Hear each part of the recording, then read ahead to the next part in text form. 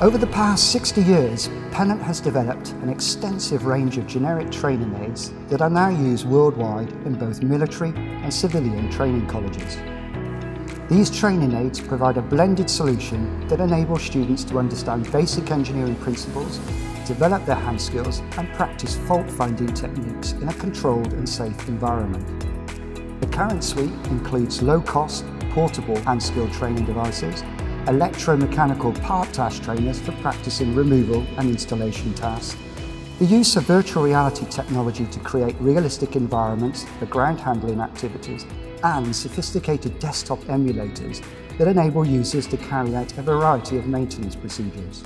To address the demand in the aviation industry for qualified engineers, Pennant have recently undertaken an exercise to map these training aids to aviation regulation standards such as EASA, EMAR, FAA, CASA and City and Guilds. We are continually reviewing the training market to identify any gaps or opportunities where the enhancement to an existing system or addition of a new product can expand our offering.